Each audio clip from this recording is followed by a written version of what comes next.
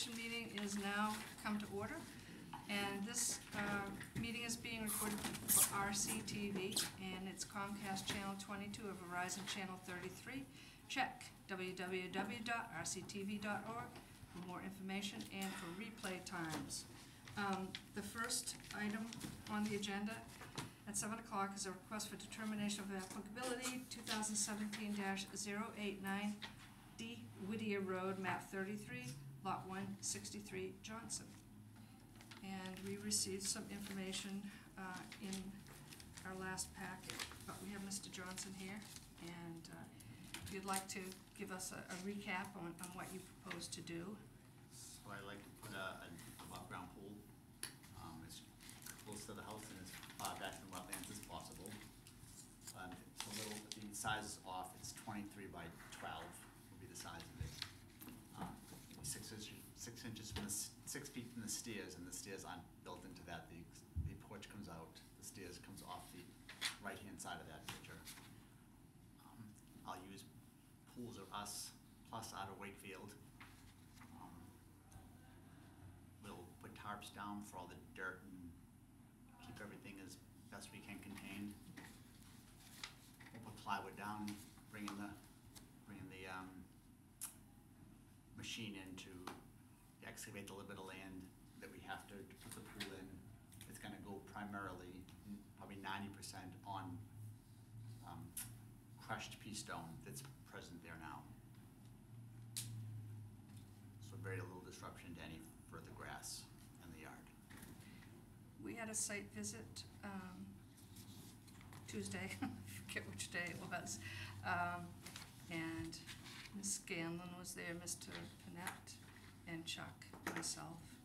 Um, Underneath the pool, there was a play area and there's crushed piece, it's it's pea stone. Pea stone. Pea stone now. Um, And um, he has a uh, fairly lush uh, grassed area, which is, I- did you take those measurements of 28 feet? Is that to the end of the, Twenty feet should be two, twen- 28 feet to the, roughly that stone, that small stone wall. Right. 28 to- and 28 Right at the, at the stone wall, um, there is actually a very lush uh, wetland area with um, very robust um, sedges, rushes, um, canopy of red maple, and it- it's in great condition. He hasn't um, deposited any grass clippings or leaves, and we commend you for that, thank you. Um, Any questions? I had one is, um, in other situations we've seen, it's not relevant to the Conservation Commission directly, but are you sure you can build a pool closer than ten feet to the house or to the deck? Is that, have you talked to the, Company, for the building permit? um, 'Cause I think we've had situations where a pool had to be ten feet away, but those are in-ground, or, I'm not sure, um, when it goes to the building department, they'll have to review that. But it seems like he could, could move it out from the porch ten feet. I'm not, I'm not sure what would happen. I mean, we're agreeing to this spot. If they modify it, we'll have to, he'll have to come back to us. okay. um, um, the porch would be considered part of the house, is that what you're saying? Well, I, I don't know. It's just something you may run into, so. I mean, I don't think it really changes the idea of it at all. It's four feet and you're not getting closer to the wetland. You might just be a little closer to your property line.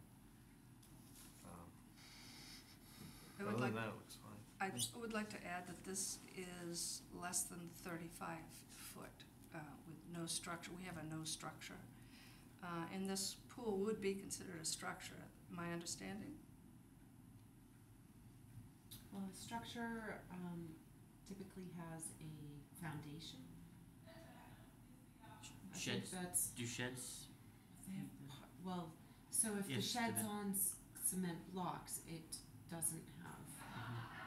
a foundation. Well, you can't change it Digging that into the much. root zone. Consistently for the And- last five years, everything's a structure, starting from a fence up, even a shed on blocks. Okay. So we've, that's what we've done over the last five years, and it's consistent with Webster's dictionary. Now, if we want to make a definition that, I haven't seen one in our regulations, but if we want, you know, if, it- if, you- unless you're connected to the ground, to the foundation poured and a footing, I mean, that, that would open up a lot of, Well, what I'm referring to is in our regs, we do say the thirty-five foot is, um, is based on some measure of protection of the zone for the zone of natural vegetation buffer away from the, I think for Away from it, cons- I so- think for and this consistency. is above ground, it's on top of the ground, and I, I don't, um, I think the consistency though, um,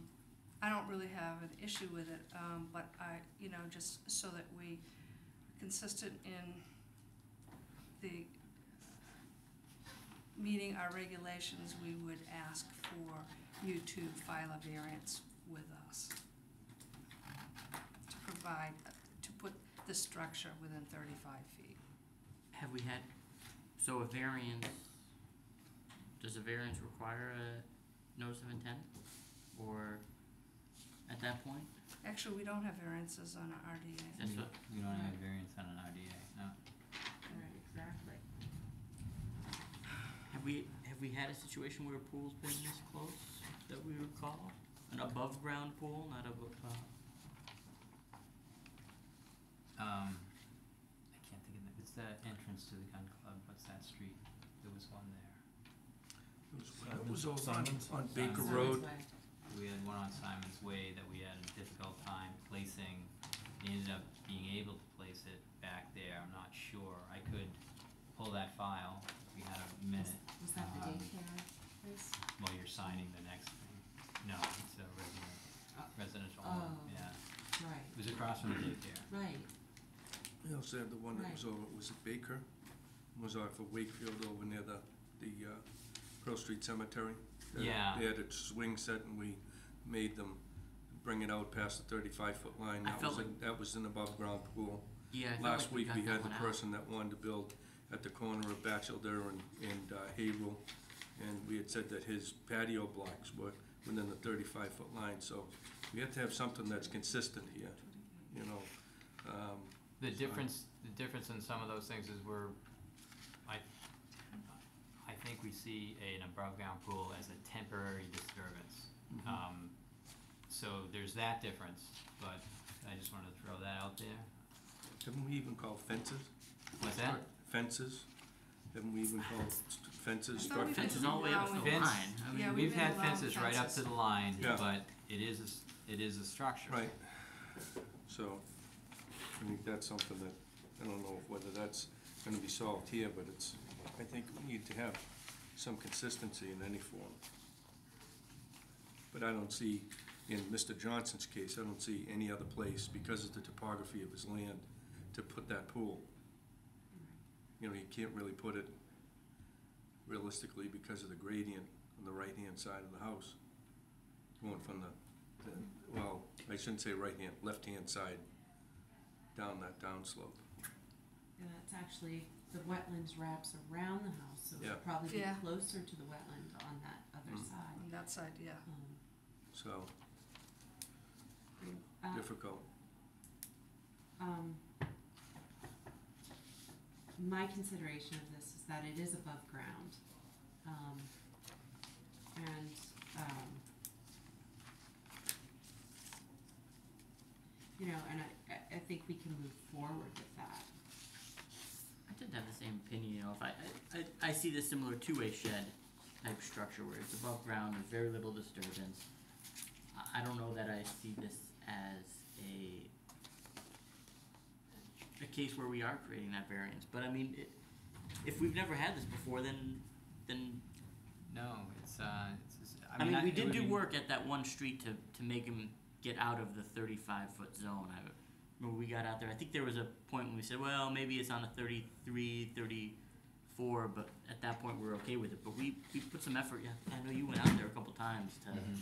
actually find a location that worked to get it away, so, Well, I I think to be consistent, you would want to have a variance. a variance, you would want at least that, and then to allow, even though we don't, I thi- I think it says in our application that you need a notice of intent to request a variance. Um, but What's, what's trying on to, the try to site get now? as close as we can. It's, Yeah, I mean, could we put under This is a variance variance, but this is a variance from our pool is based bylaw, on- so Is there this like a isn't swing a set on variance there? from, there was, yes. This would be a variance from the State Wetlands Protection Act, yeah. right? It would be a variance from our bylaw. From our bylaw. So we could work a variance into our RDA, uh, descri- um, our, the RDA, cause we put ter- we, We're- often We have have the put- authority to do that, don't we? yeah. Okay. I think you can, you can make a, uh, you can just say that, um, in this situation, um, you would accept a variance because there is no other, uh, feasible location for the pool, and although we don't know how close it can get to the house, it almost looks like you could possibly move it up two feet, so it could be thirty feet away. Um, and then ten feet over, I'm not, not sure if two feet matters one way or the other. One of the other Um, things you have to take into consideration here that's not on this, not on this plan is the bulkhead. So that twelve feet that's shown there is really only a net of probably six feet, cause there's a bulkhead that's Right, off the back of the of house, so Right. really, from the bulkhead to the edge of the pool is only That's about six yep. feet. Right, Yeah. So, you know, if you, if you pinched it another two feet up to the thirty feet, it may be pretty close to that bulkhead. So, I mean, I don't have any problem with what's here, I just, you know, I think, um, you know, just to be consistent so that everyone's painted with the same brush.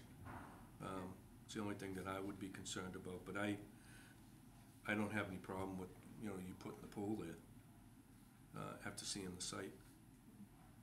Okay, so what do we need to do to make it go forward? We wanna include some language in the, in, in some, if it, if it were to be a negative ter- determination, some language to say, we're accepting this location because, or the applicant proposes that this is the location because, so, so that it is somehow recorded that this is in essence a, a variance from our Reading Maybe bylaw? just ask for a variance and have him give us a Type variance. something, okay. Yeah, have him give us a variance. Alright. And the- I'm not sure if this is the case, but I know you wanna get going with this. Would you like to, uh, just have us t- continue this, uh, matter for a while and then pick up after another hearing or two and you can present your variance to us? Or do you have to run back to work? I mean, I don't, I don't know what you talked about being in a bind tonight with time. I'm in, I'm in a bind, but I'm here. Um, I'll do whatever I have to do to make this go forward. Um, Do you wanna just continue it to the end of the meeting and then we can pick it up there and I can get him some paper and he can write the variance? Sure. The approval is predicated on him not going any closer than the twenty-eight feet. And then if he has to jog the pool away from the, the deck stairs and the deck that he can, cause it's really somewhat parallel to the I back don't of know, the Dave, lot I think there. you're like designing it too much. I'm not Okay. sure that we should worry about if it can go twelve feet or ten feet, but, I mean, that is up to the building department and I think submitting a variance Yeah. and just including that as part of the RDA is, is gonna be plenty. Okay. Um, I agree. So we wanna do that? yeah, So someone make a motion I to. make a motion to continue until Second. the end of the meeting. Okay. all those in favor? Okay. Do you know what you need to do to Second. prepare some sort of write-up for a variance? Okay. Um.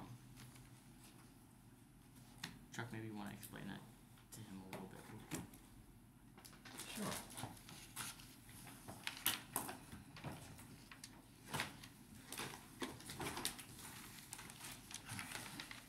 Um, the next item is, did you folks have a, a chance to read the order of conditions for What's that?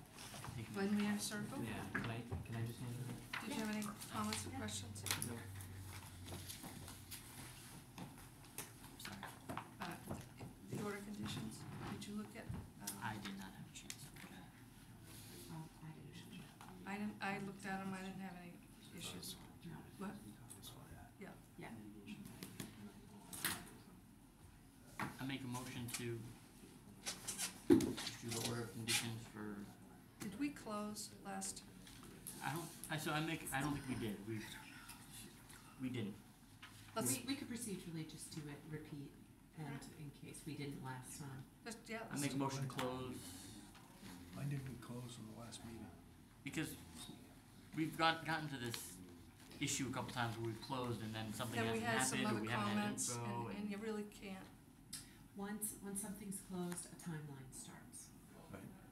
Right. Um, and it could, it could, um, um, we, we could breach that timeline before our next meeting, so.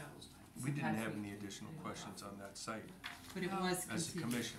We correct? didn't- Okay. And, and It the, was the only thing continued. I had was, remember when we were out there, I saw that the wetlands were much closer. Right, We did get plans, and that's the only thing And I they- wanted to make sure that we did get. and they presented those They, at our they last brought them in the last meeting. Right, at the meeting, Yeah, right. right, so I'm satisfied of, of the location, so that when it gets recorded, then everybody knows where the The new wetlands are. wetland line Yeah. is, right. Okay. So, do I hear, Yeah, it was definitely continued at the last meeting. okay, Okay. do I have a, I'll, I'll make a motion to close. do I hear a Second, All those in favor? I'm abstaining because I wasn't here. Okay, and one abstention. I Um, wasn't here last Who week. was that? For, uh, to close Glen, Glenmere, Great. and do I hear a motion to issue the order of conditions? Make a motion to issue the order of conditions. Wait a s- second, All those in favor? And one abstain.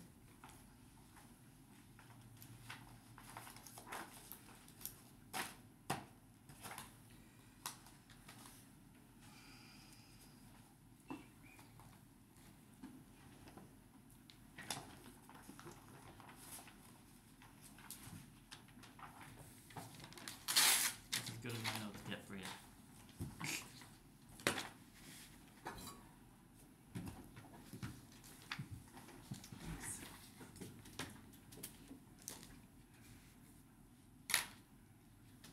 Thanks. I need who, uh, made the motion, Mike Yes. and. Dave That's what seconded it both times. Oh. I thought that was in order. you-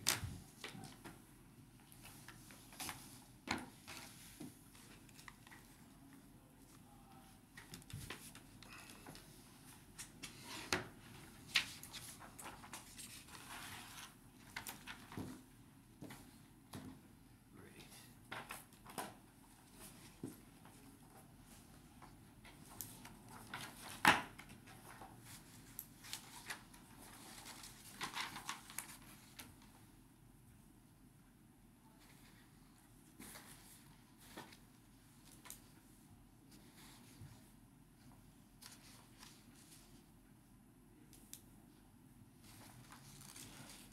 All it is.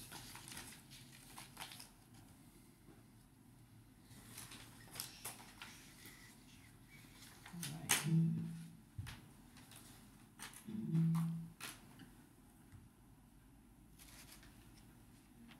No, it's, it's a computer. I can't make a sound It's anywhere. not me. Who's this from? Chuck. Chuck.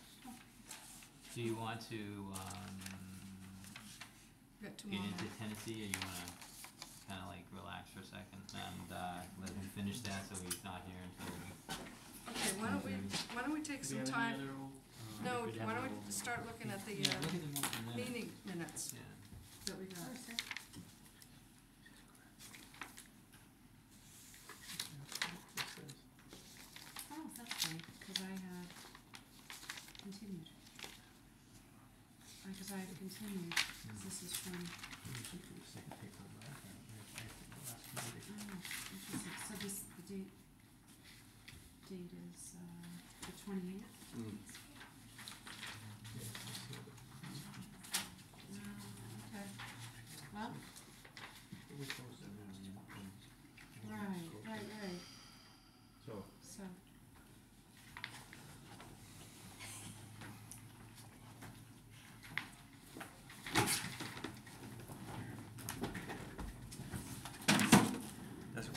now. Change that in the notes.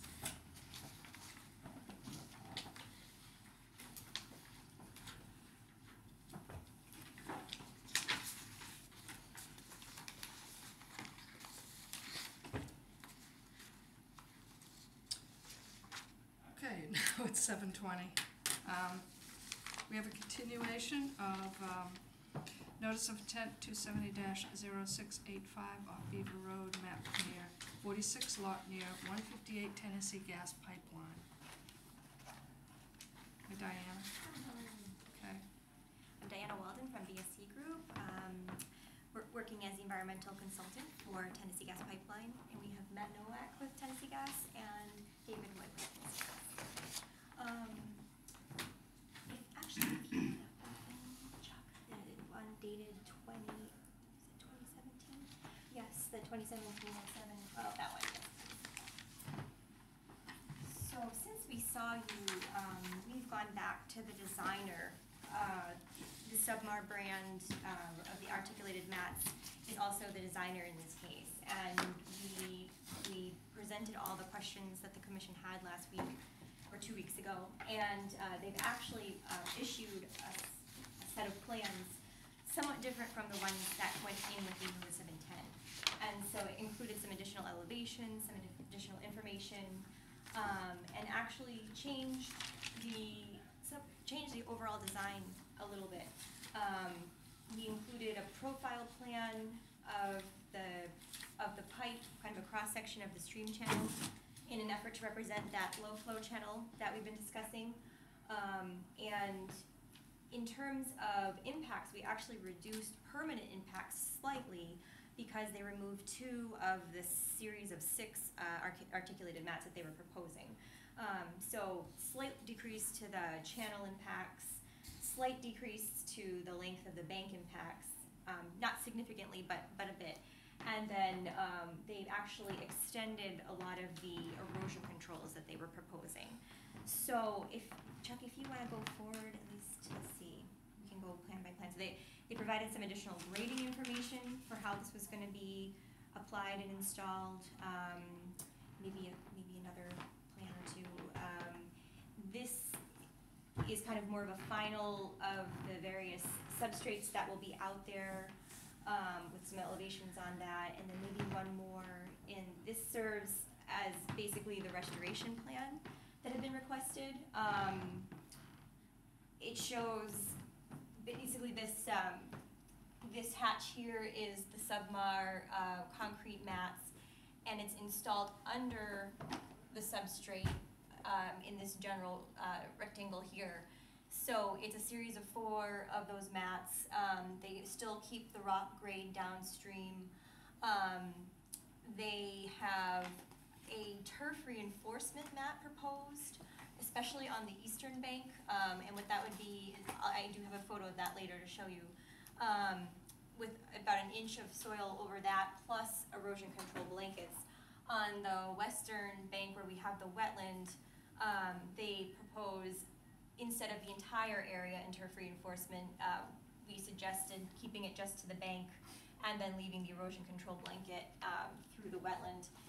The wetland notes, um, that we would, we would specify a, a wetland seed mix similar to New England wetland plants, wet mix, in the wetland, areas that have been delineated as wetland, and then in areas that have been, that are essentially, uh, slopes or upland slopes, um, we specified something similar to New England wetland plants, um, erosion control and restoration for dry sites.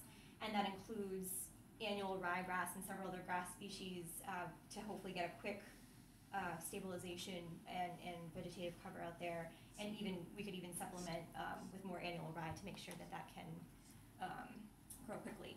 And then we do have a note in there too that when there's excavation, we would segregate the topsoil, hold that aside and make sure that that goes back over the excavation so that that root bank, that root stock and seed bank is, is, remains on the surface, um, to be supplemented by the plant, seed mixes that we have. If you wanna go one more, Chuck, please. This is the profile, uh, the cross-section of the stream with the pipeline elevation. Um, they were able to get, I know it's, it's a long, a long section, so you can't really see some of the details on that, um, V-notch or the low flow channel. Um, we, we were able to get a three-inch difference from the bottom of the low flow to the top of the slopes adjacent, and they have, they'll shape a, you know, a two to one slope on that little, that little V-notch shaped channel, and, um, they'll have, uh, you know, ch- changing amounts of fill on top of the pipe in order to create that, that shape to get a, a low flow channel going. Um, we did discuss with them whether they could shift that, that low flow channel to the left bank or the western bank, because that's where the pipe is naturally lower and we could potentially get a lower channel on that, but they were really concerned about the shear stress and the erosion on that bank already. So they, they wanted to keep it more dead center in the channel, keep, to keep the erosive forces away from the banks. Um, trying to think of the other questions that you had. Uh, we, they specified instead of a typical soil or sand fill, they're going to use a crushed limestone fill, which would increase the permeability through the whole, um, berm, basically, at the, at the pipeline. And they also changed the permeability of the, the geotextile that they would place over that fill before they put on the articulated mat. So they, um, provided a product sheet that I submitted with a response letter to Chuck. And, um, they even have a, a particular amount of flow they expected through it, if, if anyone's interested in learning more about that product. But, um, so that, just those changes would increase the overall permeability of the stream flow through that berm, um, than the typical specifications. Um, and the final elevation of fill over the pipe would vary from, they, they spec- specify it at an elevation of eighty-six point two five at the bottom of the low flow channel. And that is 0.15 feet higher than the highest point on the pipe as it sits right now. Um, that's not including the mat, the mat would be another four and a half inches on top of that. But the way the mat is built is that there's gonna be rivulets kind of running through all those concrete blocks at that eight point two five elevation. Um, even though the, the very top is going to be eight, eighty-six point six two five, I believe, or six, I have these numbers somewhere. Um, with the, the higher points above the pipe at eighty-six point eight seven five, when you include the mats. So we have, a a a number of elevations to consider. Um, the top of bank there, or not necessarily the top of embankment on the east side, but the top of bank as, as delineated, was along the eighty-seven elevation. So that leads us to believe that the water would flow over the top of the pipe, even over the top of the mats, before it overflowed the top of bank and into the ponded area during a low flow situation. Um, during a higher flow situation, we think water is in that area no matter what, into that low, that kind of floodplain wetland adjacent to the, to the pipe. Um, to think of other, we talked about the permeability of the material, we talked about having a, more of a restoration plan. We talked about the extent of the po- potential impoundment in there during the low flow time. And then we talked about, um, going into alternatives a little bit more heavily. And so in the response letter that we submitted, we went through the various, um, the various alternatives, uh, one being do nothing, which is kind of what you were kind, well, not necessarily do nothing in your suggestion. Um, and maybe, I don't know if this is the right time to maybe talk about the question you had about the pipe and different materials that could be used over it to protect it. Um, Or we could go through the remaining alternatives and then come back to that. Okay. Uh, we talked about elevating the pipeline over the stream. And as we touched upon at the meeting, it's just against safety protocol and everyone is working to now put pipelines back underground, even if they were raised on certain structures in the past. Uh, this, it exposes the, increases the chance of tampering or just more knowledge about the system. It's just not something they do. Um, putting it across the stream might lead to neighbors or kids trying to cross it like a log crossing the stream and then falling and the liability of getting hurt falling off the pipe. Um, you know, you'd have to consider the height you'd put it at to avoid debris coming down the stream. even at a, maybe even a hundred-year flood level, that kind of thing, uh, that you'd have to consider if you were doing a, a bridge of some sort. So the other option was lowering the pipe, and they looked at adjacent information from c- construction. There's other infrastructure there, uh, there's sewer and water to consider. Um, going east, they found the likelihood of ledge, that there'd probably have to be blasting in order to lower the pipe's profile in the ground heading towards Eastway. Um, and then they, they figured that there probably would have to be excavation, potentially up to hundred feet on either side of this stream crossing. And that would lead you into that large wetland system across the driveway to Two Beaver Road. Um, and just the, kind of the domino effect of needing to access all those areas, disrupt those areas, the, the construction time would be much longer. Um.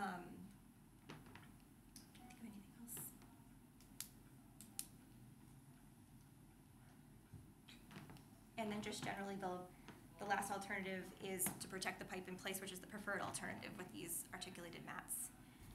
Where are the utilities that you mentioned, the other utilities? They're on the, um, High Bank side. According to our notes, there's a sewer, there's a sewer line, I believe there's two sewer lines in there, and there's a possible water line. Are they, They're crossing, they're crossing do they our, cross you like this? almost on a ninety degree, the best that we can tell.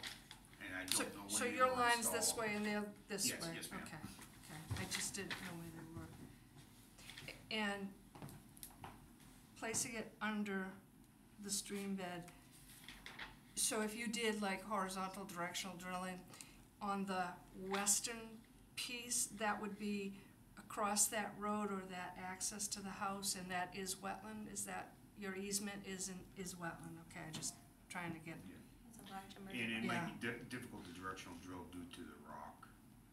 That's on the all bla- east- It's all east- been blasted ledge from original construction according to our notes. so on the, but it's on the eastern, um, All the way through, all the way through that whole section. Even, even in the wetland area, Yes, acro- ma'am. on the, on the west, past that driveway? According Gotcha. to our nineteen fifty-one notes, that's correct. So I wasn't here at the last meeting, I apologize. How much higher is this gonna be than what's there today? If you look at the, um, if you look at it as the top of fill, but the bottom of the mat, the lowest point will be 0.15 feet higher than the highest point right now. And the highest point will be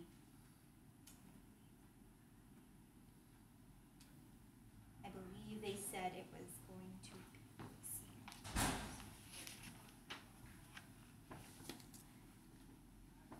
Do you add- just add the thickness of the mat to that?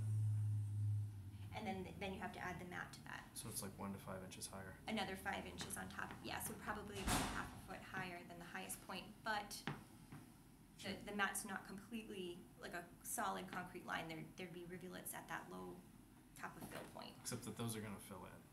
with sand and debris, possibly, with sand materials. But we also increase the permeability of the, the, Yeah. the berm itself. Okay, thank you.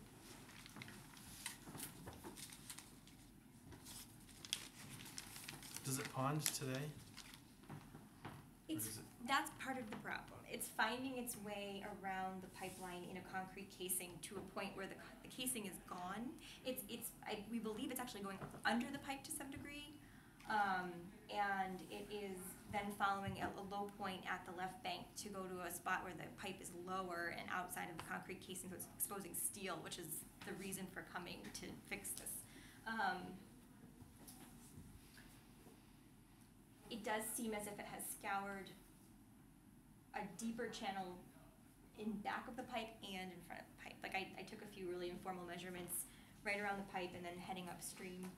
And it does look like the scour is about six inches deeper on either side of the pipe versus the channel, the thread of the channel heading further up. Okay.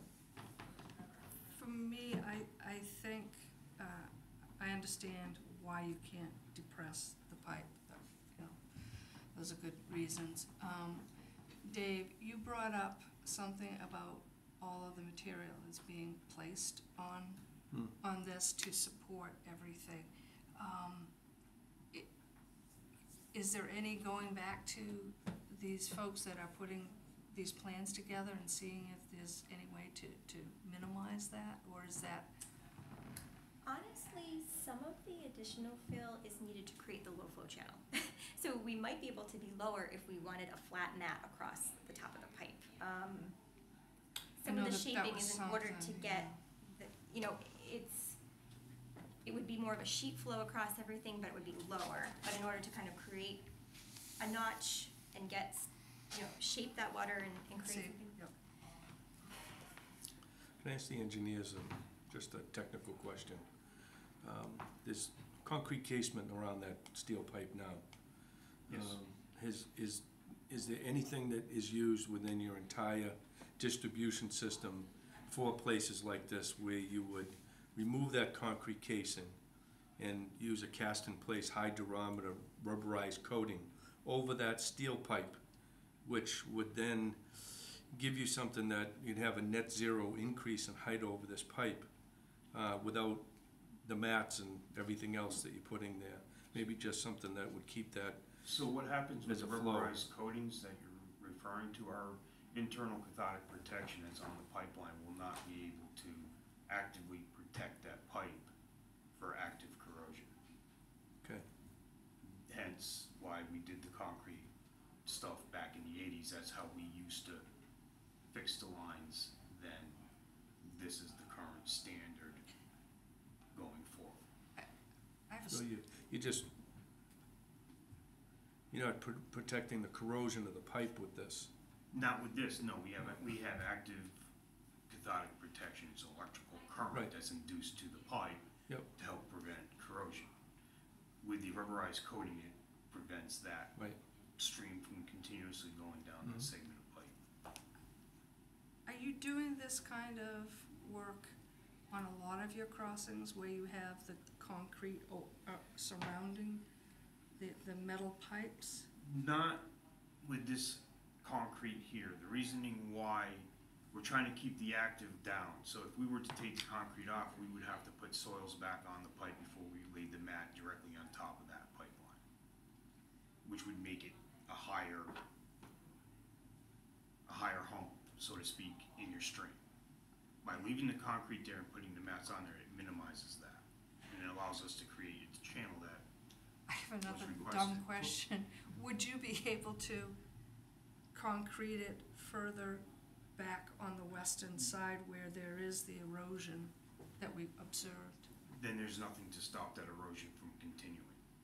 And then we'll be back there in a few years doing the same thing, and back So the, in a so, years. so let's see if I understand. So the erosion, uh, took off the concrete? No, it went beyond the, beyond the limits of the concrete from the nineteen eighty-one It repair. Continued to scoop soil It off just the kept- bank to the It point just kept that, moving, my, the stream kept migrating, the flow kept migrating to that side, to the point where it's taken the soil off what we repaired in nineteen eighty-one.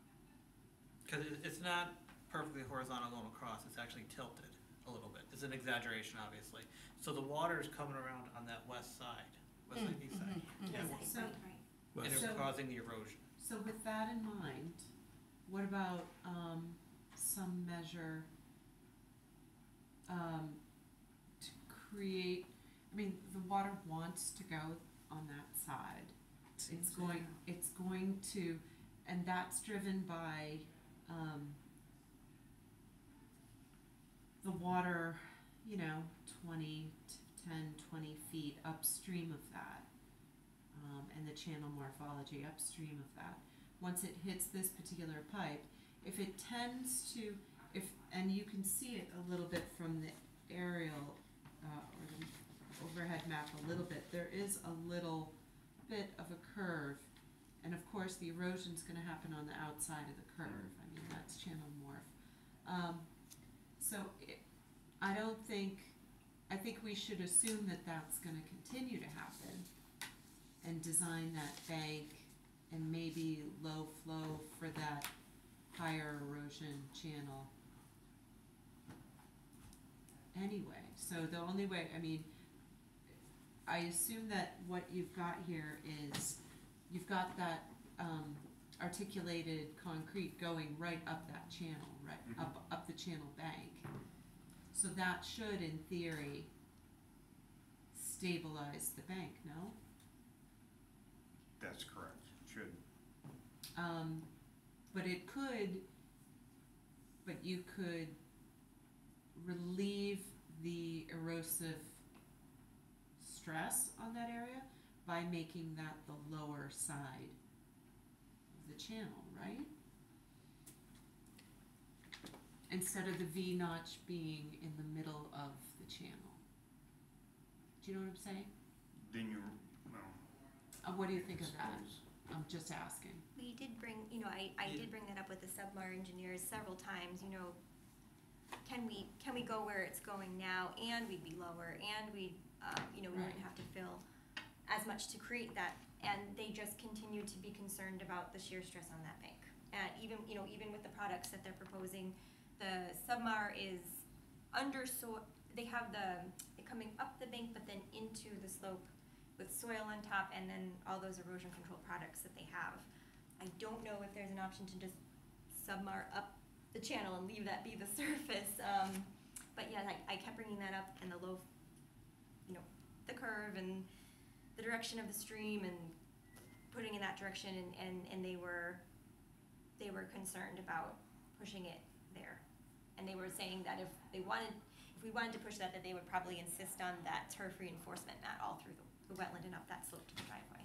Because, I mean, it looks, I, I guess I'm confused, cause it looks to me like the Submar articulated mat goes, does go up, and the engineers just weren't I think it, completely convinced that it, that wasn't enough erosion protection. I think it used to, and, uh, but if we go to, back to the profile, um, Yeah, you can see it's pretty this You is wanna the zoom in there, submar Chuck? mat line, and they have it It's now very- under very soil very once you get out of that channel bottom. Right, but the higher flow, um, oh, they're- the they're higher flow would be on the flatter slope side. The low, the low Right. flow, yep, that curving and that erosion is on that side. Right, okay. And they're doing it over here as well, they're putting material back down on top. I think in some cases they do follow kind of like the existing contours with the submar. Um, in this case, they've, they've buried it and I'm not, I'm not designer in that sense, so I'm not sure what, So- you know. So I guess, so I guess I'm wondering if they can do some sort of lower flow surface, um, in the middle of the channel, um, how feasible would it be to get that lower elevation, um, from the base of the bank across? You mean something that doesn't require as much fill, Right, then that low flow channel shape is gone.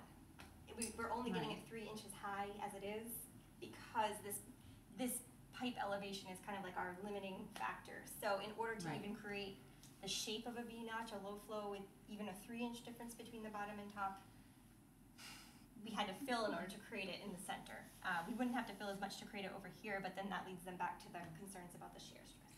did they, uh, um, did they do any, um, modeling of the watershed in a, s- in a typical storm? Like a HEC-RAS type model, I'm, I'm not, I don't, I'm not positive about that. Unique, isn't it? I don't, I'm just, I, I, I'm just trying to get that, I just would like, I'm- Don't, so- don't, go ahead. don't a couple of big storms, be- because you, you're, the bottom of the V notch is on the concrete pad.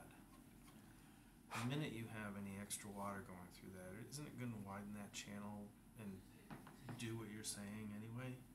It's gonna erode, it's gonna carry bigger material down, and once the stream velocity slows down, it's gonna dump the bigger material.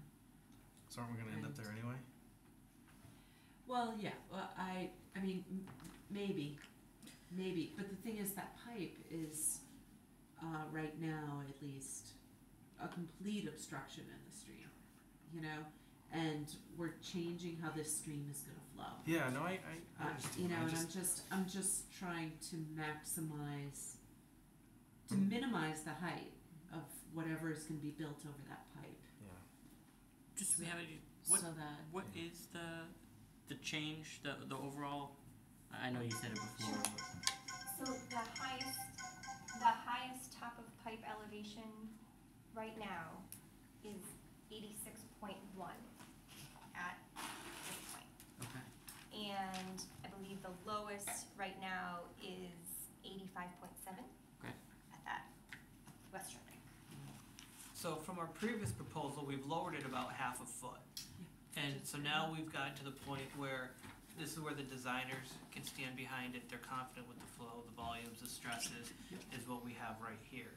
Um, if we start playing with it more, we're gonna be losing the, the confidence of the designers and, and what they could potentially stand behind.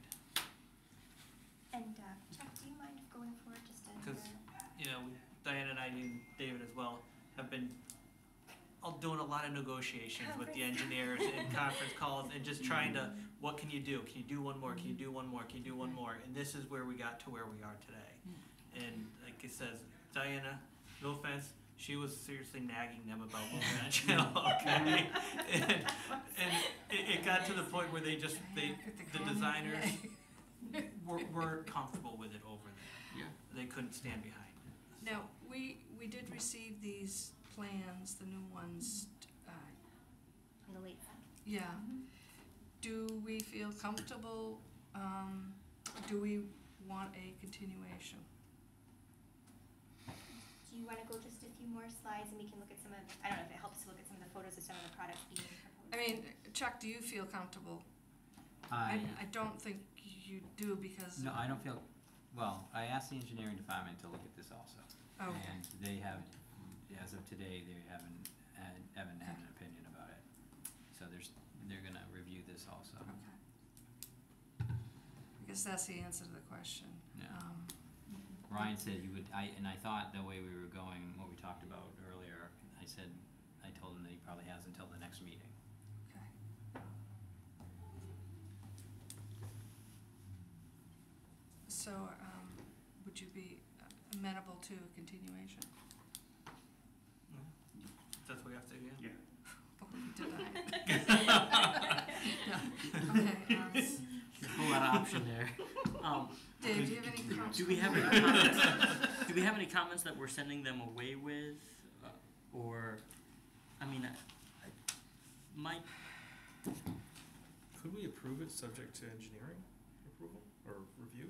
I'd like to have engineering look at it. I think I- that Yeah, they I, have I don't to- feel comfortable, actually, No, I understand, I understand that, but I'm not saying we, yeah, okay. I, I, and, I- and I really applaud you guys for trying, um, to work with the designers, the, the engineers.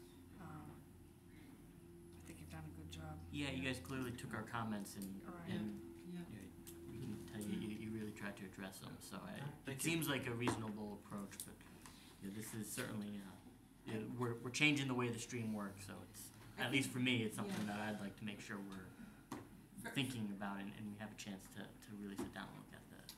For me, the biggest outstanding question is, um, i- if this is the design that ultimately is the best that engineering and, you know, everybody can, um, you know, can, you know, agree to, um, with that new construction, I would love to get some, some prediction, if it's, if it's possible, from an engineering perspective, as to what's gonna happen with that system at like a, a two, a ten, a twenty-five. I mean, uh, you know, what's gonna happen with that, s- with the So you're next talking about storm? hydrological modeling. But so, what I Which, just I mean, heard is, I, we're, I'm not officially requesting that, I'm just saying, you know, we're in a residential neighborhood.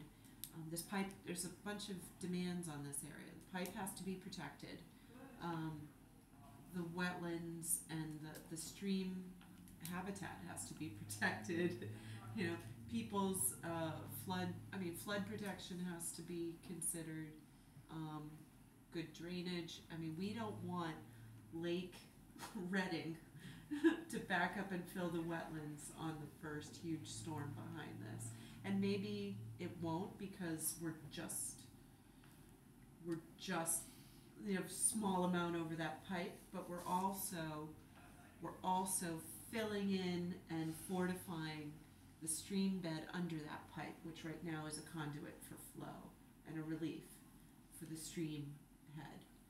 So I'm just, I mean, there's a lot um, that's going to change, and I just think we need to be really careful and considerate in, um, you know, in understanding how this is gonna change the flow of that stream. And ideally, you know, I'd love to see, um, you know, the higher permeabil, I heard that you were putting the higher permeability fill in underneath the articulated map. Awesome. Um, until that silts in, that's probably gonna transmit water pretty easily, but even if it doesn't silt in, well, even when it does silt in, you could also consider that that is gonna be a higher, have a higher groundwater conductivity. So if there's any, so it may become some sort of area of increased spring pressure. I mean, I don't know, I'm, I'm just, I don't know. Yeah, I, I, I, I don't disagree at all, I, I was just asking the question because I, Yeah. I think it's, from a practical standpoint, this is about as good as you can possibly get, and the impact is about the same as a five-inch tree branch falling across the stream. So, you know, I think one of the struggles w- when I hear something about m- It's- the no, it's true. modeling is we're within a margin of Repair error is different. here Huh? and a margin of accuracy Yeah. with how this stream bed runs and the contours of, you know, we're talking about dimensions that are less than feet, you know, le- less than a foot. right. I don't know that, Right, we're that we're not- gonna get anything that, that is really meaningful out of Out of Uh, smaller, out of- out but of these smaller scales. I think there, there's, we're being cognizant of it, we need to make sure the measures are being taken so that we're minimizing the impact to it. But, you know, as long as they're trying to address to keep this as low as it can, you know, to, to Yeah. not raise this up as much as we can, I think that's, my take is that's probably all we can do. But once this goes in, it's not gonna be, and if there is something substantially problematic with the water system after it's installed, that's not gonna be an easy fix. It's not, so, um, I think it's worth the time and effort to just make sure we're doing the best we can the first time through. Did, uh, do you guys have any shots upstream so we could see the extent of the impoundment area? I know that their, the design is, um, a ten to one slope from the top of the pipe, the, c- you know, the center of the pipe basically to meet the profile, so, the upstream profile, and I know they, they did gather some information on that stream of further than, you know, immediately added, um, Yeah. One of the questions I asked, discussed with Mr. Teroni was that there was no discussion as to, and he just said the impoundment as to whether there was any, any survey done at the, the head height that you proposed. And now, I know that you guys have, and I, I applaud you for, you know, coming down six-plus inches in head height over what was proposed initially.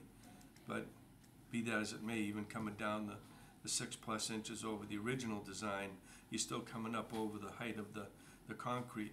My, one of my primary questions was, when I first went out to the site, was what's the, the water level at the height of your proposed, um, repair going to be? What's that gonna look like as it goes up the stream? I don't know what the, I don't know what the angle of declination is between that pipe and the upstream part of that. I don't know whether anyone's taken any surveys of that to see where, like Chuck was saying, any water impoundment would go at the proposed head of the pipe. I just don't know what that is. I mean, it's kinda tough because you're, hmm. you're standing out there and it's all vegetated and you can't really see. It appears that it goes uphill, but, but to what extent? And where is that? How high is that gonna go up in the bank and how far upstream is that gonna go when that is gonna be installed and you finally let everything go and the water flows? I don't if we have the survey information, do we? Yeah, that would have been Sunmark that would have grabbed it, and I Yeah. heard that they had gone about a hundred feet up the stream. Uh, they have the channeled bed at elevation eighty-five, and we had our top of bank kind, our top of bank and their top of bank kinda hit at the eighty-seven elevation mark, at least here at the work area. Um, I would have to s- assume it carries back a ways as well. And our top of mat, even not just top of fill, but top of mat, is, is just below eighty-seven. And Mhm. so our thought is that the water would flow over the pipe before it flowed over the bank. Right, true, but where's, where does eighty-seven bring you up, upstream? Right. Where's, where's that, that water level that, um, Well, I, I think one of the, what- what, what makes that question more difficult now is, with the original design, the, it, it was fairly, it wasn't completely impermeable, it would have had some infiltration, but now that we've gone to different lengths, now we're gonna have a greater flow through the Mhm. structure. So, I'm, I'm not sure how that would be calculated, cause we're gonna have flow through the structure. even if you, even if you just assumed it all filled in, it was filled in with gray clay, and there was no infiltration at all through that, where would the, where would the water level be upstream? But it, it's, it's designed now for infiltration. Okay. So if, if we assume that it filled in, it wouldn't give us an accurate representation. Mm-hmm. So the first time you get a rain that tests that eighty-seven foot, every piece of wood that's on that property is gonna float to the top of that pipe. I mean, there's no way to know, and so you can suddenly go from eighty-seven to eighty-nine and phones ring at the fire department because everyone's basement's full of water, so I think that's what, Well, that's what you're worried about, right? if, if you look at, um, if you look at the, if you look at this, though, um, you do see that the wetlands on the, the left side of that profile Weston Bank. Yep. Uh, the wetlands, I- I mean, in this, in this map, it looks like a small isolated wetlands that has a contiguous wetlands a little bit further, well, if, if water backs up there, that may just become contiguous.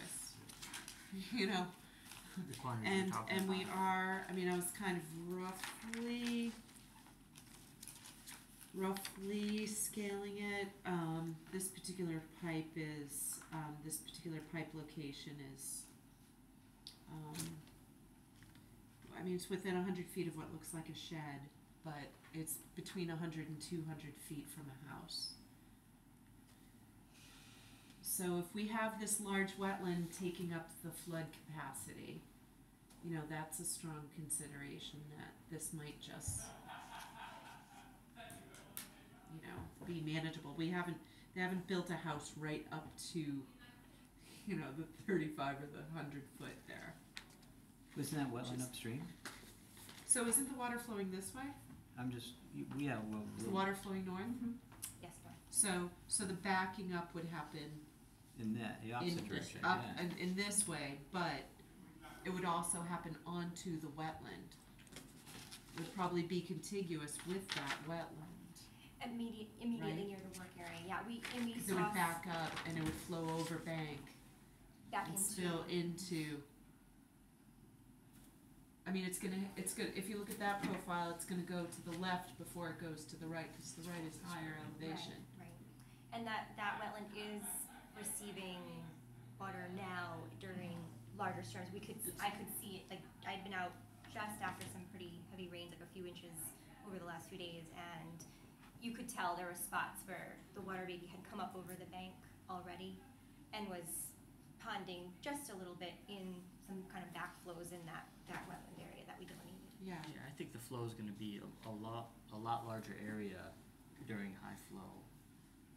Um, I think it, it's finding its way right through that wet, just like you said, around the wetland on the right side there. You know, the U, the USGS, of course, is, it's just not scaled to, to the feet that we need, but the stream channel is in just one large flat contour, you know, it doesn't really show any sort of, so, so on the, so is somebody building another road back there?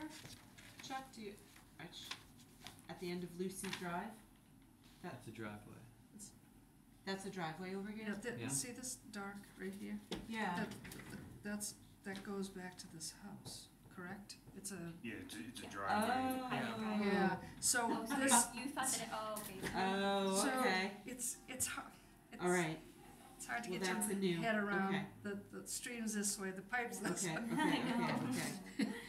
Never mind, Oh, you thought maybe it might just connect to the large, I thought oh, it would okay, connect, okay, yeah. interesting.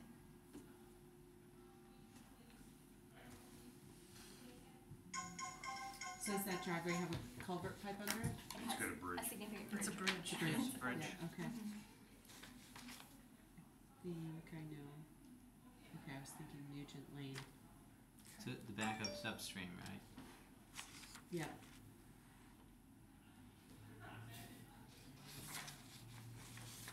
So.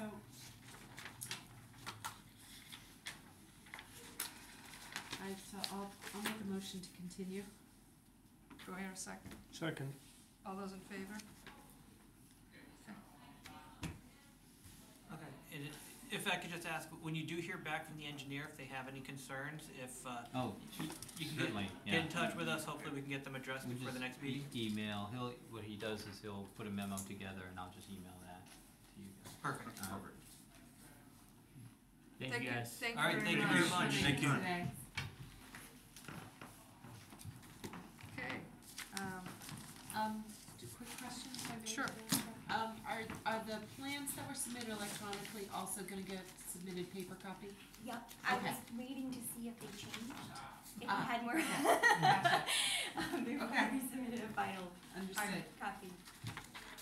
So we're in that, that same position, uh, we'd like to get at least six days, if, you know, and a dis- distribution will be next week, so if we can get something. Do we know when the engineer might have their changes, so in case there is something they have, that we could make those changes in time for Um, I that? figured we, if we throw him into the mix, we could be, he, you know, he's, might be just before the meeting type of thing, and, um, I don't even know if he's, uh, how far along he's with this, so, I'll ask him again tomorrow, and then see if I can get some, and I'll uh, either email or give you a call, alright? Cause I think the only changes we have at the moment would just be to correct a few things on there, you know, based on that, changing that turf reinforcement with the engineers and, you know, at this point, they're, they're standing, I, I mean, as far as I'm concerned, unless, you know, it, it would be up to the engineer having some major requested change, that would change anything on our part with the, with the exception of a few things. Sure, and Yeah. did you talk, uh, guess we continued, I was only gonna ask Oh, about if the, they can, the landowner? yeah, Yeah, we kind of expected her to be here today and that we'd hear more about it, but so they want you to start after. We, we, we can adjust our, con- our contract, our construction timeframe to not interfere with her activities for that specific Chuck, what's the weekend. date on that? Uh, August August, yeah, nineteenth. Whatever the date is, ma'am, we, August we, we 19th. can make that adjustment to our schedule to, The, to the accommodate driveway, her. right next to the western edge, there's a wedding on the nineteenth. Okay. So we, we, we, we will make, we, we will don't we, we will adjust ours to the wedding, no, I, I, no. She I'm had sure- wetland concerns too, but I, the precedent was the, Was the wedding. wedding. Yes, so if you wanna relate to her that, that we, we can make that adjustment, that's not a, Just so she's not adding another wedding pressure. Yeah, Right. yeah. Share what's already Subject to the crazy. Wedding Protection Act.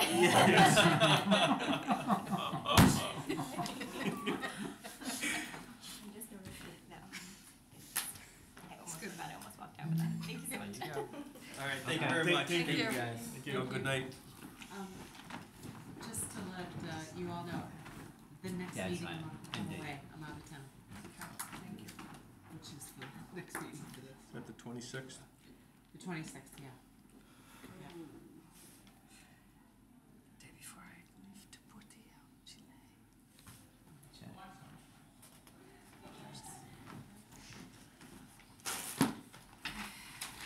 Pass that up.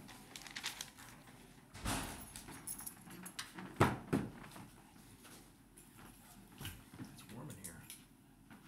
Now she shows. This is my wife Karen, Oh, hi. Hello, welcome.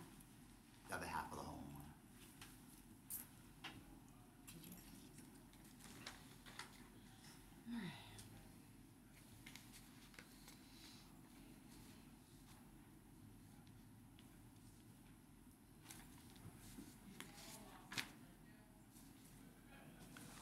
Doug, did you, have you heard anything about the, uh,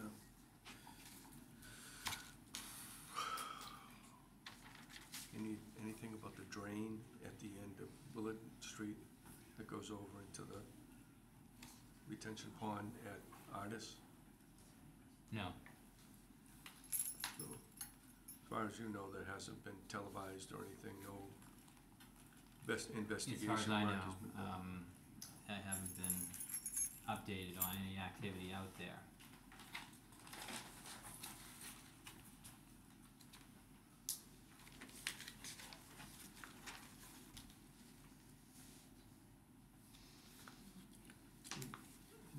Um, response to the request that you made for 364 Lowell Street?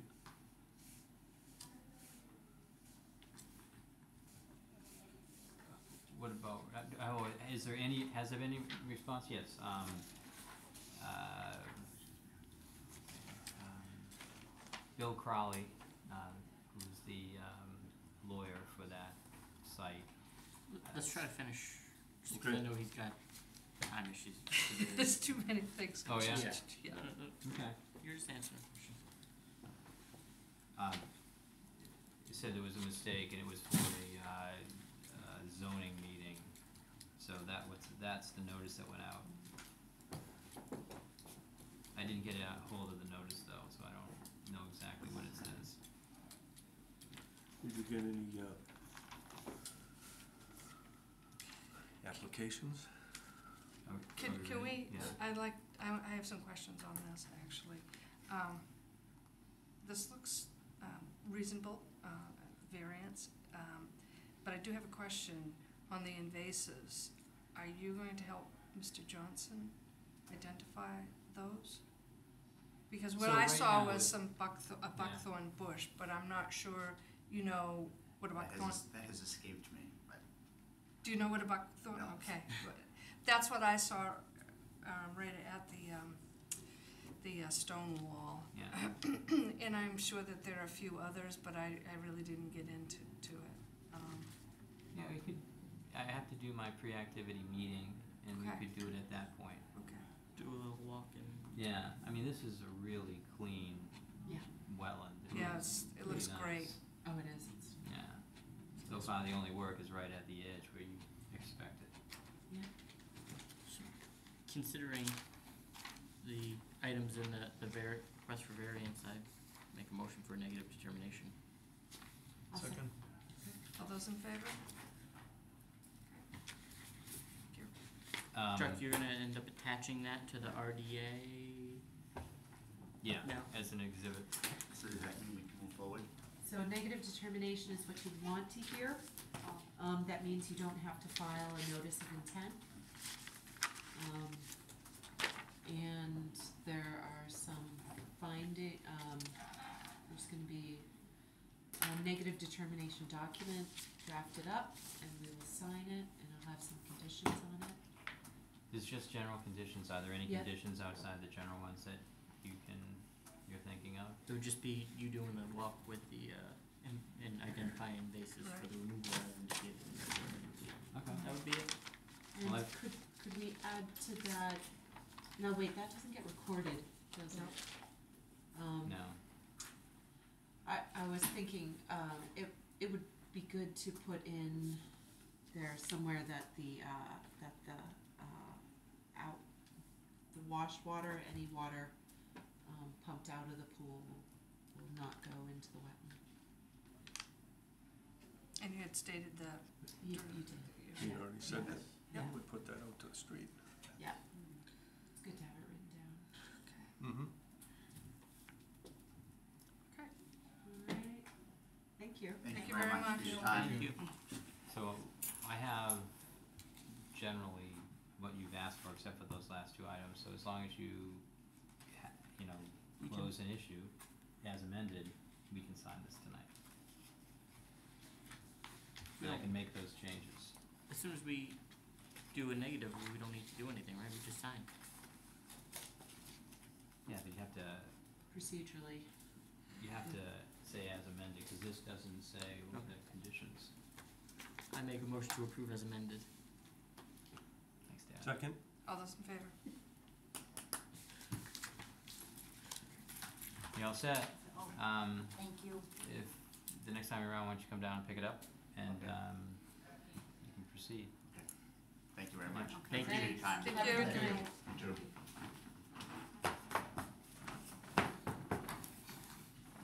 Um, Haverhill Street, uh, has been continued at the request of the applicant to July twenty-sixth.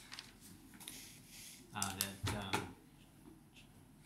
Jimmy Corborn, he is uh, uh, no longer the engineer on, um, and he uh, he's a new engineer has been presented. So I think, I think that there's gonna be a little bit of delay, uh, in getting the next, them on the agenda.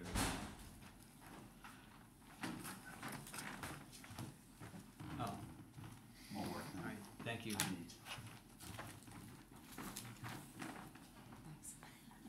So n- no issues came up, I haven't heard from them, uh, you know, and, and the engineer didn't talk to me before he presented the plan that he had out there. Um, uh, so I was, uh, unaware of some of those, uh, requests about the wetland finger and all that, um, bit. So, Wha- what was that request? Is that what you included? He asked us to ignore, um, a wetland finger that jutted up on its own. Uh, so the, the line, the wetland line was pretty consistent Yep. from side to side of the, um, lot, except for this one wetland finger. And he, he basically asked us to ignore it Right. and to, uh, say that it's insignificant.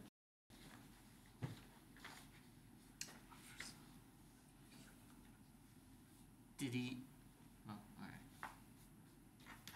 Was he asking that, or was he asking that they didn't have to meet the thirty-five foot variance because of that? We also asked that we ignored it and. He asked a couple things that I don't think were, anybody was on board with, but I, Yeah, i- ignoring to me is like, well, you can just. I think there, were there was conversation that had, we were like, well, just fill it in. That's, that's very different from, you know, a variance getting closer or, it doesn't matter. I think new engineer will be probably a good thing. And I'm gonna abstain on this one, since it's in my neighborhood and all my neighbors are interested in it. we actually volunteered your driveway as a staging area and told them, told them about your well-stocked refrigerator. Excellent. Get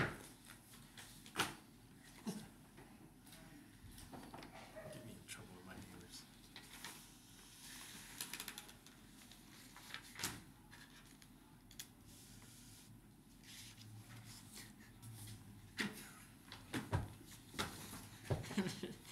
So I've got a lot of. Been waiting all night if you read that, man. Where's the baby, Mike? You know, the rest of Very them don't have that. oh, just this one? Just, Oh.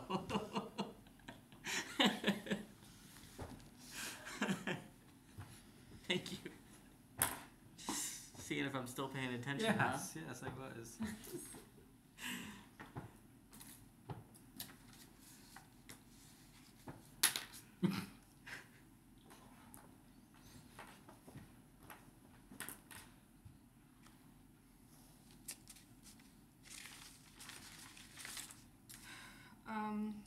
do we have no old moon bu- business? Yes, we have, um, thirty-seven James Road. So, um,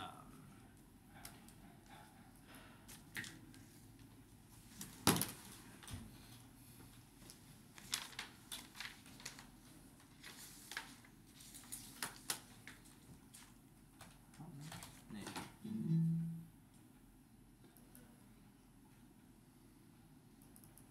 You ready for today?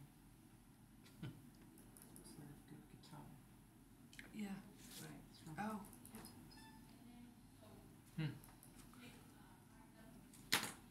man, we made that up.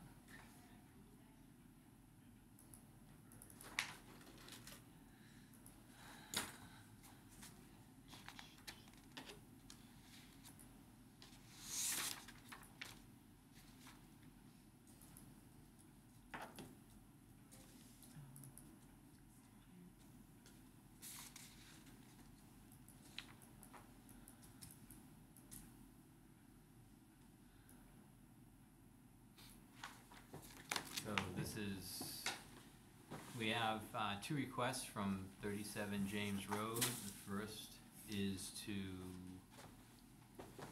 the first should be the minor plan change. So thirty-seven James Road is a notice of intent uh, that was issued in two thousand and fourteen to level out the backyard and install a retaining wall top of that request, which was approved. on top of that request, the owner has, um, asked that this yellow section up by the house, um, he would like to put crushed stone in that area. He would like to run the crushed stone down along, down along this edge here and stop it somewhere in this, this section here. And I measured this off the plan, it should be about forty-five feet away from the wetland, but it's also on top of about a twenty-foot high retaining wall. And his second request is that there's gonna be a chain link fence that runs across and along this retaining wall. And just as a safety factor, that would be uh, a good idea to have something up there, he has a young child. Um, Chuck, why does he want the crushed stone? Just to increase uh, infiltration? he has a dog and he's gonna train the dog to uh, go to the bathroom in that area.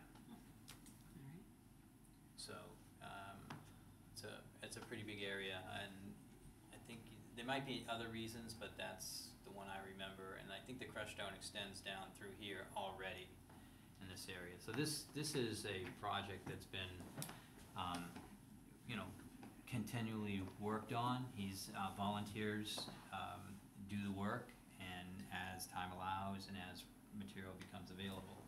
So it isn't, it isn't, uh, gone as fast as a typical project may, uh, but, uh, he's, in my opinion, he's, uh, doing a good job. And, uh, from O- O'Connor, um, Dave Pekowitz, who is a Reading resident, has kind of befriended, um, this uh, applicant and is, is helping up, helping out, keeping him up to date with when he should apply for, uh, extensions and, and other things. So, um, it's, uh, kind of a good team over there.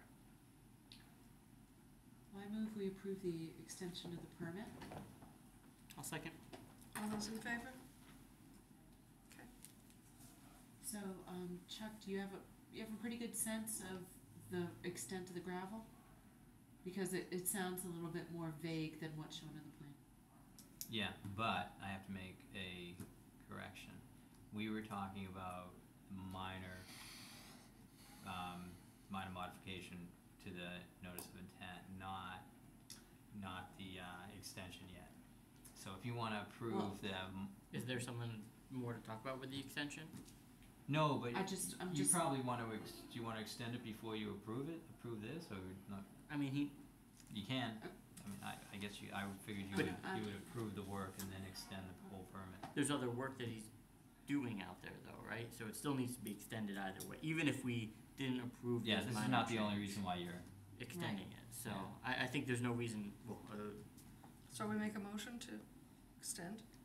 yeah, we, I think we did that. I think we All right, so we need a motion to uh, uh, approve this a minor, as a As a minor minor- plan change. as a minor plan change.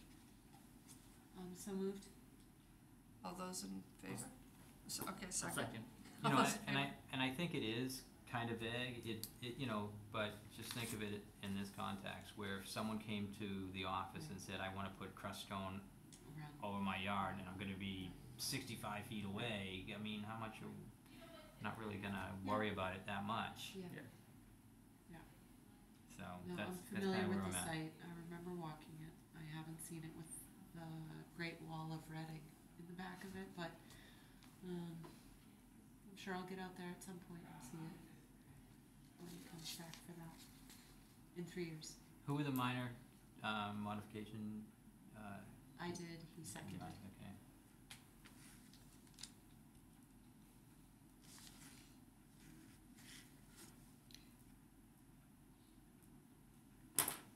Do you have any reports? Anything else? Chuck?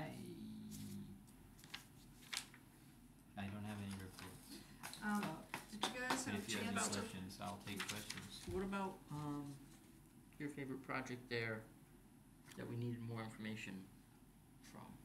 Um, Three sixty-four Lowell? but yes, So, yeah, so Dave was just asking me that, uh, but three sixty-four Lowell, I did email Bill Manuel and, uh, Bill Crowley, and Bill got back to me and just said that the notice that they sent out not only said that they may, they're gonna start on, the nineteenth, but, uh, he said that it, it indicated on that day or soon after that. So it wasn't exactly on that date. And he also said that it was for a variance hearing for the zoning. Um, I, I don't have it in front of me, but it wasn't, hadn't anything to do with us. Um, but I haven't seen what notice was sent out, and then Bill Manuel sent me, um, a notice, and he said he was aware of all those items, and that he will, he's, uh, preparing something for the commission, so I think they're, I think they understand what we're asking for, from this Bill yeah. So, you know, and you guys read them, and we have to kinda look at plans and think about who's gonna watch this project and, right, they have to submit, yeah, and I, I think I used the artist Walls. example and the, and the problems that we've had over there, um, to emphasize the fact that why I didn't like having, uh, like a friendly party or a person that works with the company being the, um, Monitor. environmental monitor. But So the only way we can set something else up is to have some sort of fo- like force account. And there, we're hiring somebody else directly. It's not how we've done it any other time. We just tell them to get that person and. Then they're still working for that person, how is it any different? They're still working for the people doing the work, the job, that, that, that concern is still there.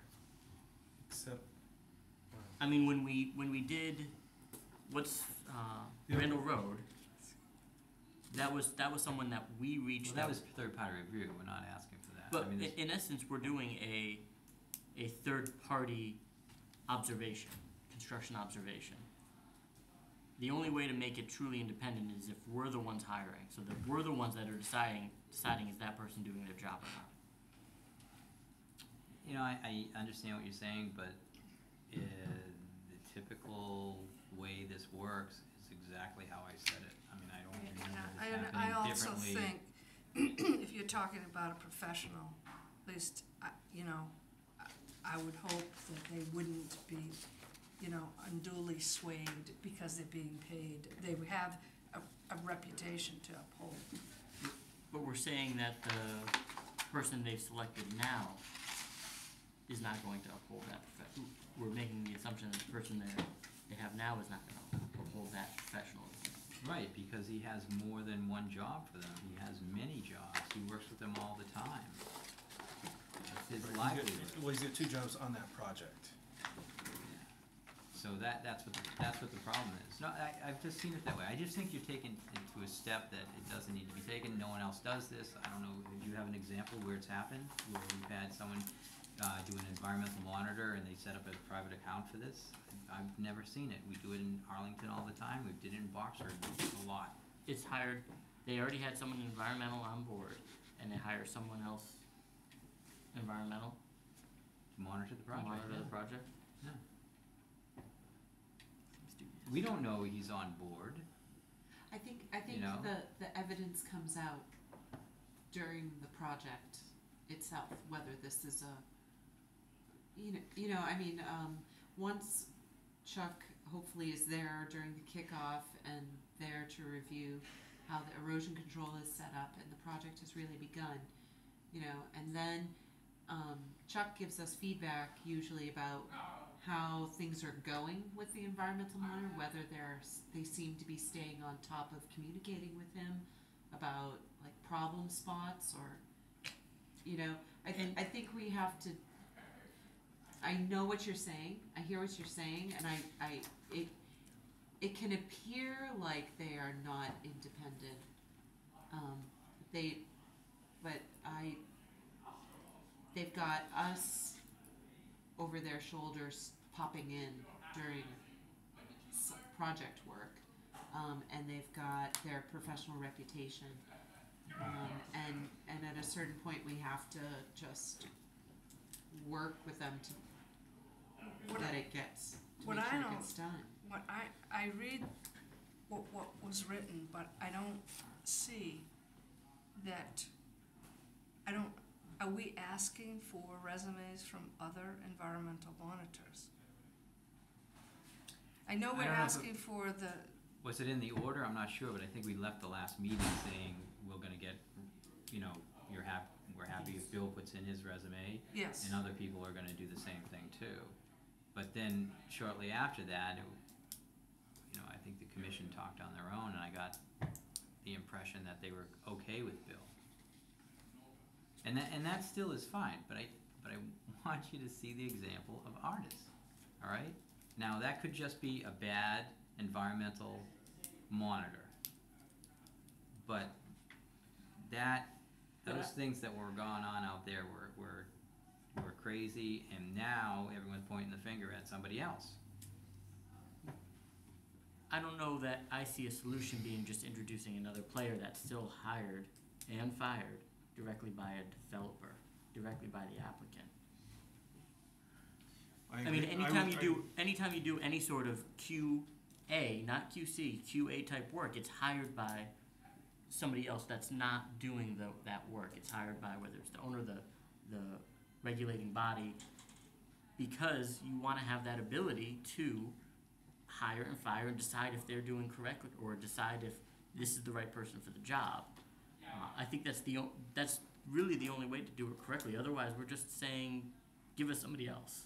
But I I think, I think in the business world, I think that's, um, that's extremely reasonable and, and common practice. But from the municipal side, um, that would require us as a, as a board, um, having, you know, a fund to pay for someone, um, and then us being you know, effectively there.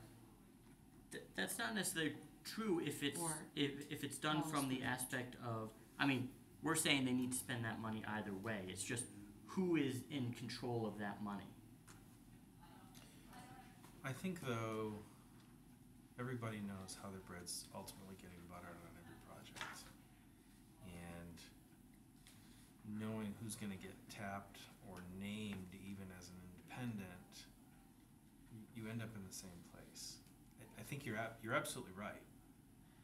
Um, but I think it's also true that when you look at somebody like Bill Manuel, his, he, I- know his reputation in front of this commission is incredibly important to him. And I see him as a, you know, someone who's very, very serious about what he does and he takes a lot of pride in what he does. And so I think that you have, you have some truth on that side of it and you've got, also got some truth on what you're saying. And I think Anita makes a really good point that if it's,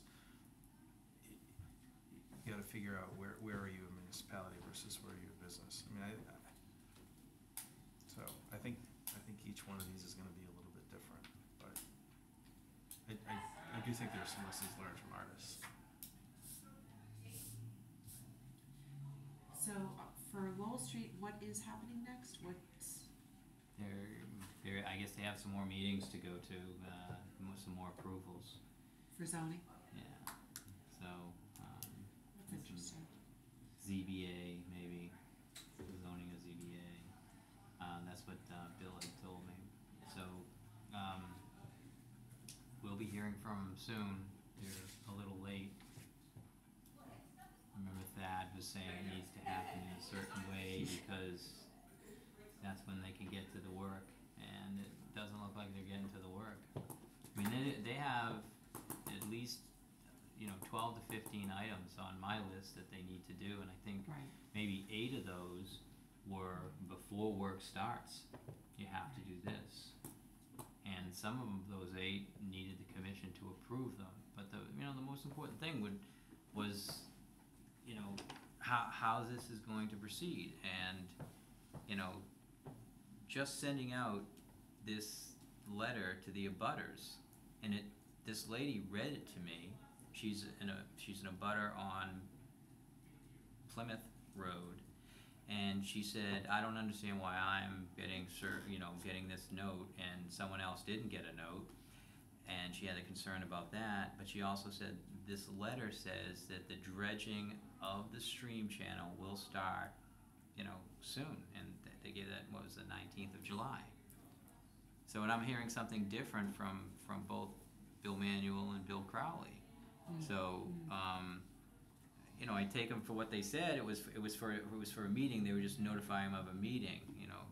Um, but, you know, our order of conditions says, you know, twenty-one days prior to the start of doing work on the stream channel, you will notify those abutters that you're going to do it, not twenty-five, five, you know, days and then say it's gonna happen anytime after that.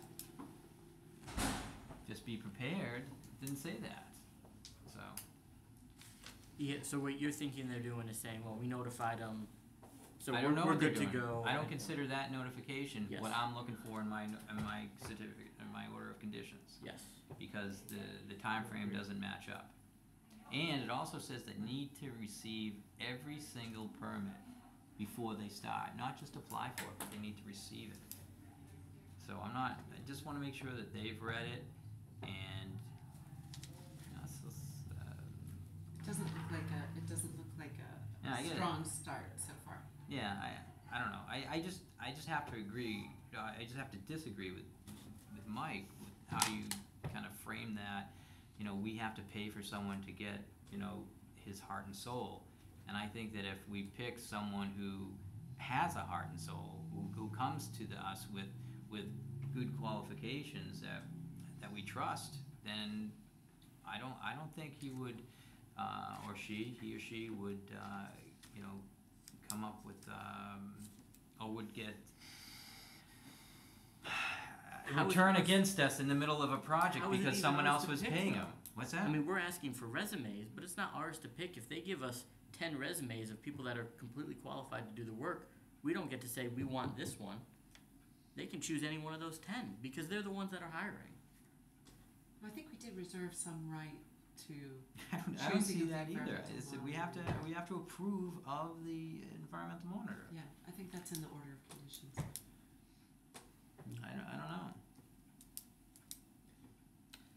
Chuck, before that, So- um, if, if you get a kickoff meeting for that, could, could you just email to all of Do you us mean the, a, a, um, the, uh, the order, the final order, after it got drafted, cause I'm sure I recycled my work in. if I get a kickoff meeting, what do you mean by that? What is that kickoff meeting? The site inspection of three sixty-four Lowell Street, or are you're talking to go to a DRT meeting, cause you can't go to the. No, no, no, not the DRT meeting, and what I'm talking about is if, if they're giving you indications that they're gonna start the wetland work, and they're ready to begin the pre-site work, you know, notifi- I mean, when, when they're, when they're giving you the signal that they're ready to get going, could you just send out the order of conditions?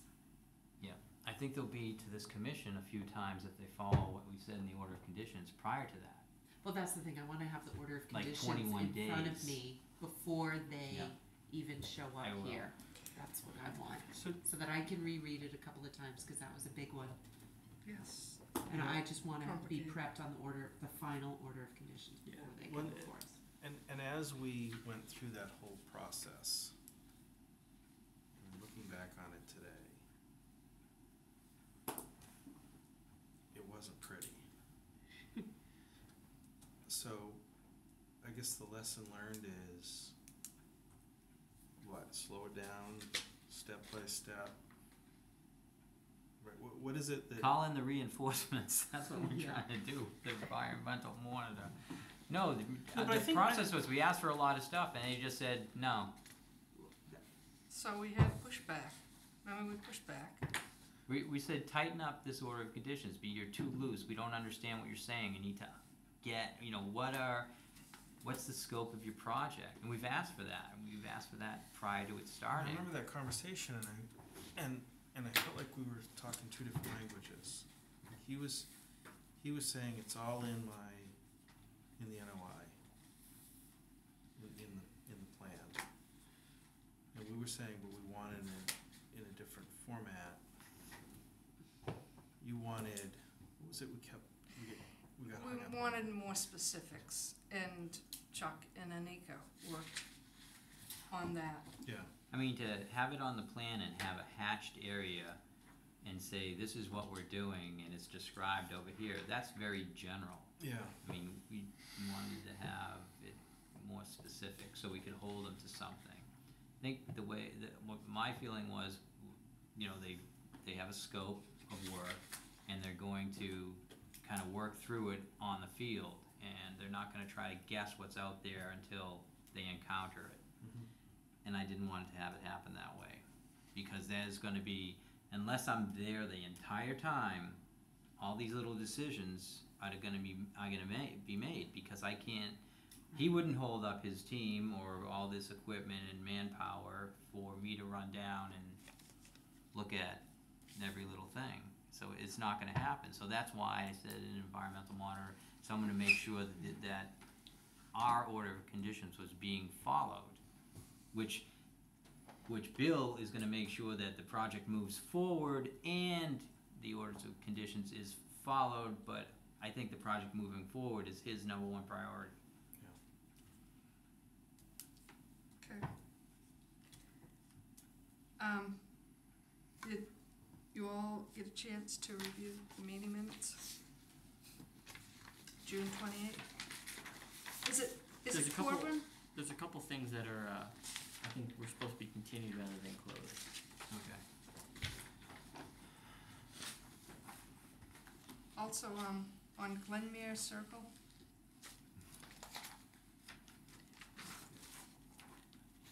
Uh, on the, um, even with these changes, the house and proposed addition was still outside the fifty-foot buffer zone. We don't really have a fifty-foot buffer zone, it's maybe fifty feet from the wetland. They had a, a line, I think, on the drawing, right? Yeah. That was fifty foot. It kept on referring to fifty feet, but it Yeah. was, I know we don't have a fifty Yeah. foot. Yeah, so let's just, just change the language. yeah. even though they gave us a fifty-foot buffer zone, even though it's a hundred feet.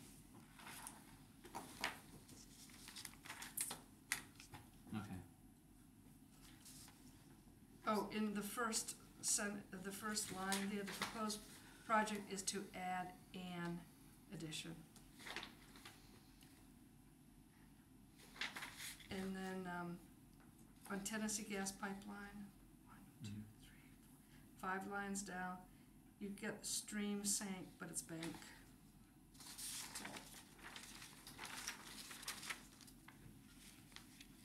Um, I have some additions if they don't see them towards the end of the meeting. Um, that we put in the minutes that there was a vote, uh, to vote for chair and vice chair. Okay. I think that should be in the minutes. Um, How'd that how'd that work? How would, who? was it? I think, it- I think it was unanimous for all the people voting Sure, there. Unanimous? Yeah, I don't think there were any votes against the, uh, chair and vice chair. Just making sure. Only be yours, reappointed. Chuck, but you didn't get to vote. I didn't even come up. Um, and I, I'd like to put in here just for posterity that, uh, no, just one quick sentence, that this was the last meeting by, uh, Mr. Kuyar. What else done? You didn't, yeah. And I did mention him in As this. a, as a Where, where Commission did, member. it- I, where did I? Maybe did not. I miss The applicant. I know you Oh. mentioned him in it, No, I but think she wants to say, put say stuff this. lined up and he put just in wasn't. that Yeah. this Mr. was Kuyar's his last meeting. last he meeting. sold his house. Are you kidding? You know, when you go They- back to that annual Yeah, I don't report, think you he wanna lives know in town anymore. Oh, what wow. happened this year. Okay. I just was Yeah. waiting for, Yeah. Well, that's too bad. I Hmm? I was enjoying his Okay. Sense of humor. I'll mention this, this is his last meeting, He did a. Al's last work to meeting. that house. You know, Okay. Um,